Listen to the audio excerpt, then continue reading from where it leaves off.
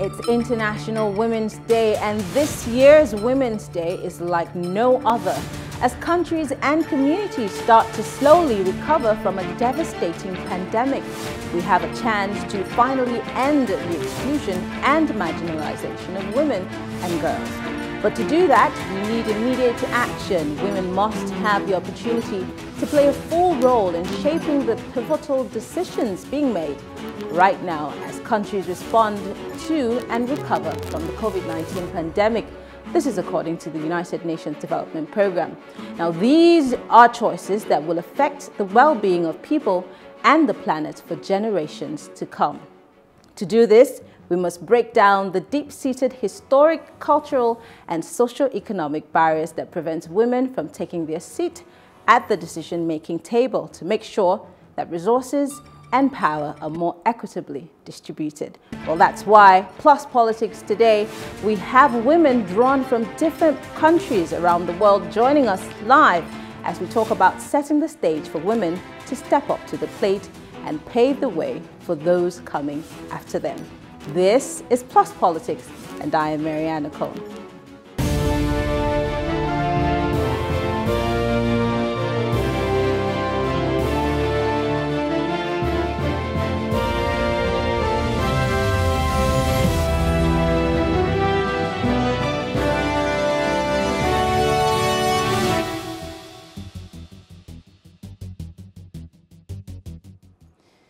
Women in Pakistan make up 48.76% of the population according to the 2017 census of Pakistan.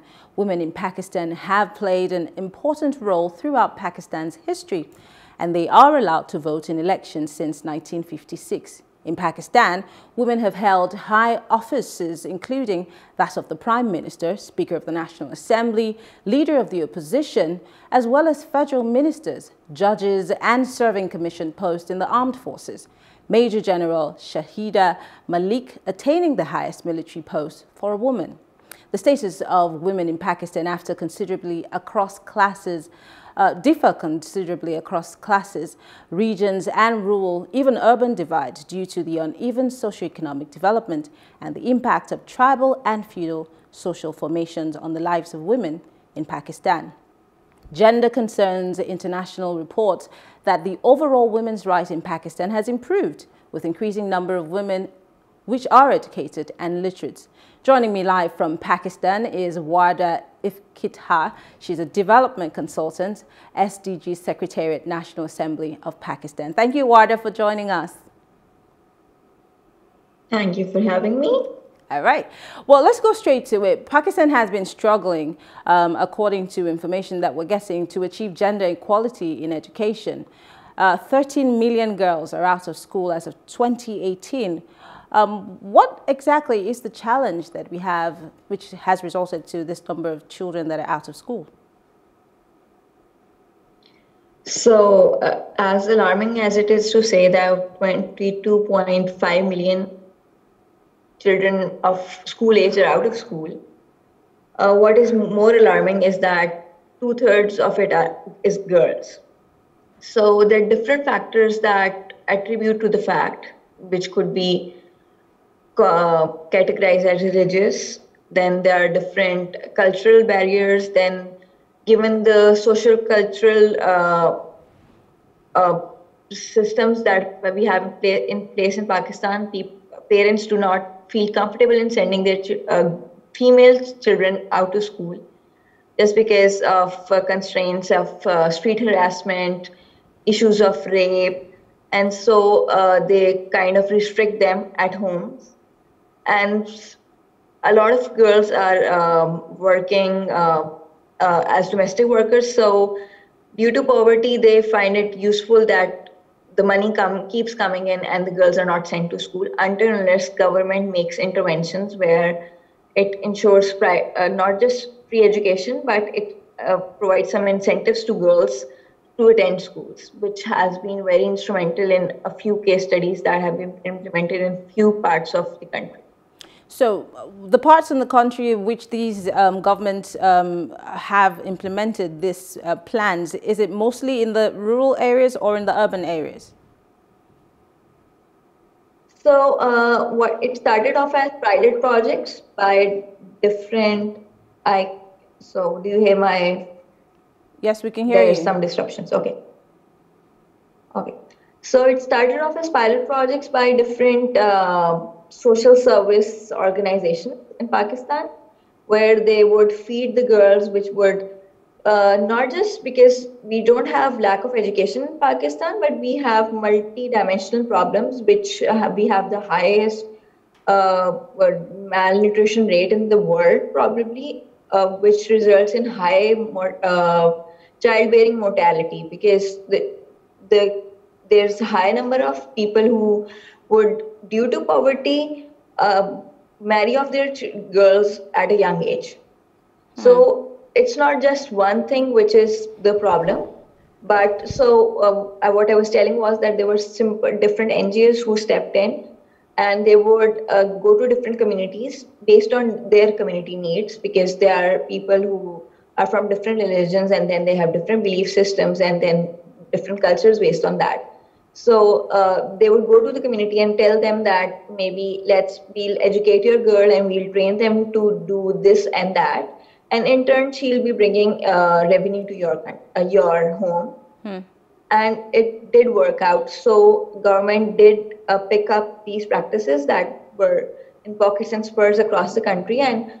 Uh, not as uh, a journal rule, but it's being implemented in parts where different um, cottage industries are in progress. Hmm. So yes, it's working. Okay. Uh, what is Women's March? Um, we hear about it, but what exactly is it and what are their demands? Is it just women marching for something? Well, that's a very interesting um, thing that happens in Pakistan since 2018. So, women on 8th March take down on the streets of the country where they come out and uh, it's understand what it is like, it's more of a festivity where the women take take up on the street and say, "This is our space. We are equal citizens. We demand equality in every means and way. So we uh, we ask for equal justice system. We ask for equal pays. We ask for no street harassment uh, and different sorts." So uh, it's very popular uh, in a way because uh, it it's the time of the year when uh, meaningful debates around gender equality begin in the country. They mm. take different courses. Uh, some go to the policy advocacy level at the parliamentary parliament level. Some stay in the news for good reasons. But this has helped a lot of things. For instance, we have been able to uh, make our cyber harassment law uh, and the workplace harassment law, which supports uh, uh, evidence generation for women in in case he reports a crime. Hmm. And this has all been uh, result result of the Aurat March itself. So we call it Aurat March in Pakistan. Aurat as in woman. Uh-huh. It's the Urdu word for uh, uh-huh. woman. And uh, this year around, uh, since the theme was uh, the theme for the overall International Women's Day, it's choose to challenge. So uh, the Aurat March theme this year around was for the frontliners that they asked for uh, uh, they asked for support for them so that they uh, can do whatever they want and feel safe and secure while doing so. Poverty eradication for them security for them since pakistan is amongst very few countries which still have live polio virus cases where frontline workers go door to door to vaccinate people against it. Mm. And most of the uh, those workers are women, so that's they're doing tremendous job and humongous jobs, which no one wants to do it, and no one, and that that would that is what would take Pakistan out of that uh, blacklisted countries just because we we unfortunately have failed to uh, eradicate polio, uh, which we should have done. Interesting. Let's talk about gender equality in Pakistan because you also mentioned it that one of the reasons why the women are marching obviously is because they want their equal space, equal pay gap. So let's let's delve into that. That's a major issue and it's not just Pakistan, it's across the world. Women are asking um, that the pay gap between them and men, you know, be closed up. Uh, what's the situation like in Pakistan? So uh, before I dig into that, I would uh, share a very interesting stats. In Pakistan, only 2% of the women, uh, the businesses are owned by women.